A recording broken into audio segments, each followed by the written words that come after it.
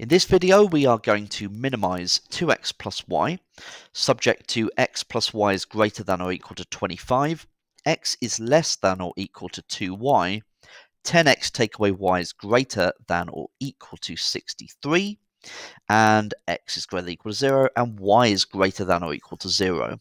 Now, because x is greater than or equal to 0, that means we can shade the region we don't want, which is to the left of the y-axis. So we can shade the region we don't want. And because y is greater than or equal to 0, so that's that one, and because y is greater than or equal to 0, we can shade the region we don't want, which is below the x-axis. Okay, so we've got that bit covered. Right, now I've chosen these inequalities this time uh, because they are going to be a little bit tougher to draw on the graph that we have. So we've got x plus y is greater than or equal to 25. This is the first one we're going to work with. Now the problem is, immediately, is that we would usually do when x is 0, y is 25, and y is 0, x is 25. But the problem is that my graph only goes up to 20 uh, on both axes. So how do I know where to start? Well, essentially we need to find two values, um, so two coordinates, and then join them together. So one way to do that is if I think about the end part of the graph, x is equal to 20. So if I think about x is equal to 20 and then think, right, what would the y value have to be? Then y would have to be 5. So I know that 25 is a point. Didn't draw that very well, did I? Let me just try that again. I'll try and get that a little bit closer. Okay, there we are. That'll do. So 25 uh, is a point that is on this line. And likewise, uh, when y is 20, x would be 5. So I know that 520 is another point that's on this line. So 520 is up here. So I need the line that goes through those two. So let's do that.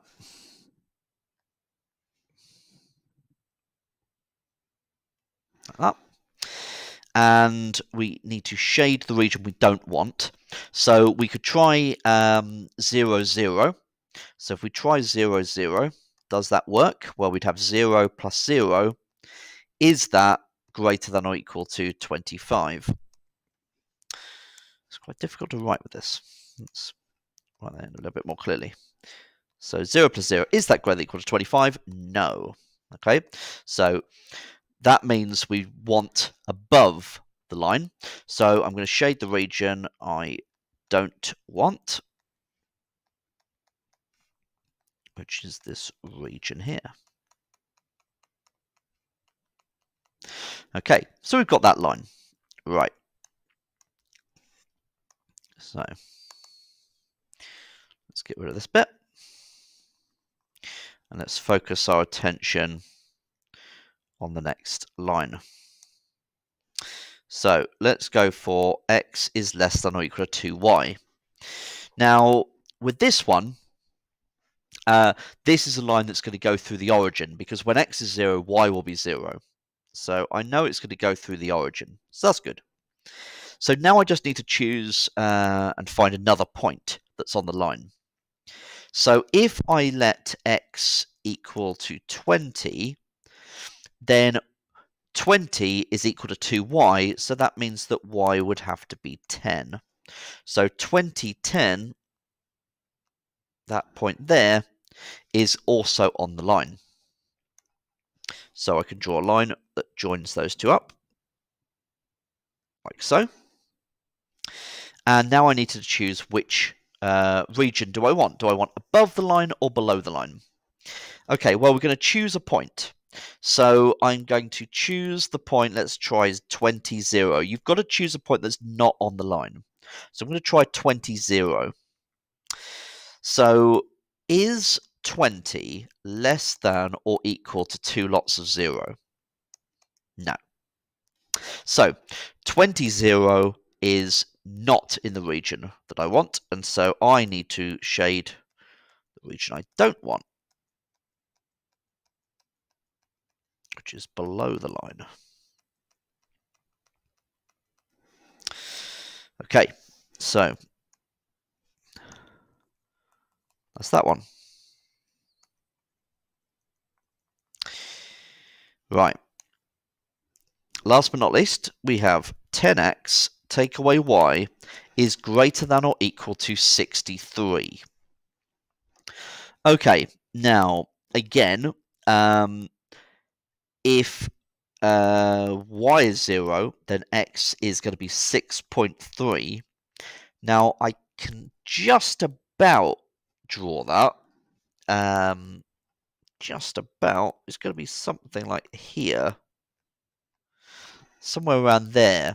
Now, if you want kind of like more, uh, well, nicer values for that line, then we're going to have to choose some values of x. So we could choose x to be 6, for example.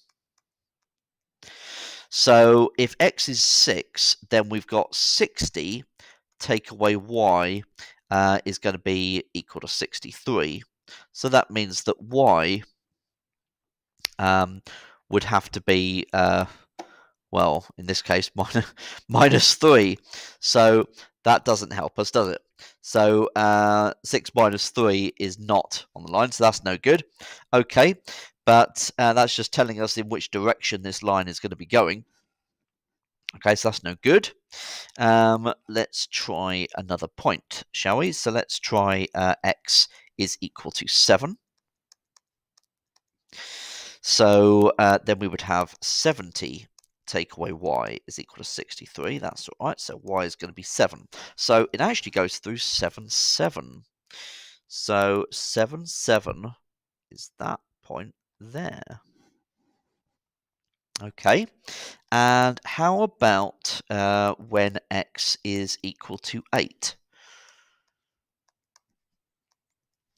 So what we would have, we would have 80 take away y is 63. So that means that y would be equal to 17. So 8, 17 is also on the line, which is there. So, it's quite a steep line. As you can see.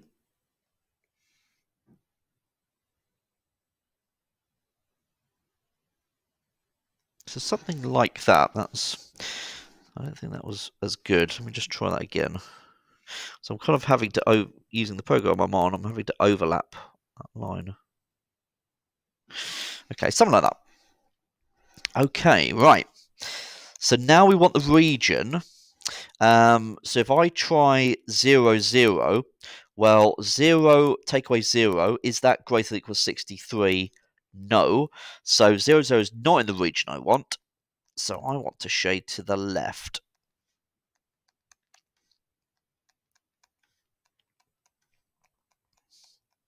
Okay, and so we now have our feasible region.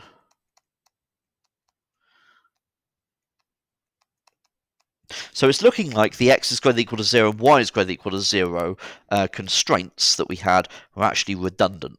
Um, they didn't add anything in at all. Okay, so let's make a little bit of space. Right, so the next thing is we want to minimize 2x plus y. So in order to do this, really we want to work out the two corners that we can see of our feasible region. So um, the first one here to the left, I'll go for the left one first. This um, we can either read off or we can actually find the intersection of x plus y equals 25 and the 10x take away y is equal to 63. Okay, so I'm going to use the um, simultaneous equation solver on my calculator. Plug the values in. And we get x is 8, y is 17. So 8, 17 for that point. Okay, that's good. Right, and for the other point, that is the intersection of x plus y is equal to 25. And uh, the line um, x is equal to 2y. So what I'll do is I'll subtract the 2y from both sides. I'll rearrange it into that form. And I'll use my simultaneous equation solver again. And I'm getting uh, 50 over 3, 25 over 3.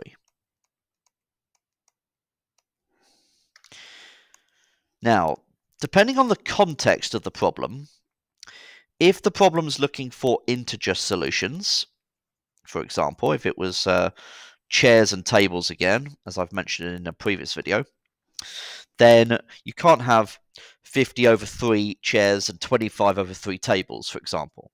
So that point there could be discarded uh, almost immediately. Um, and we might have to look at integer values close to the point that is inside the feasible region. But we'll consider that a little bit more when we get onto integer programming. But for now, all I want to do is I'm going to substitute these two points into 2x plus y. So two lots of 8 plus 17. Let's try that one first. So um, what's that? Just uh, 16 plus 17 so that's 33. Or we've got the other point. So two lots of 50 over 3 plus 25 over 3. So uh, what would we have? So 125 over 3 So 125 over 3 is approximately 41.7. And remember, we're trying to minimize. So this is the minimized value. That's the minimum there. So the minimum is 33 when x is equal to 8 and y is equal to 17.